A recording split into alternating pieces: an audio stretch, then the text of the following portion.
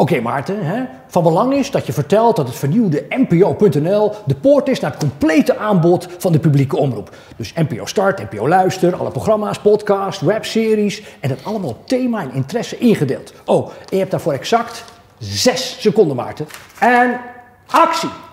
U ziet het op dit bekertje staan, npo.nl.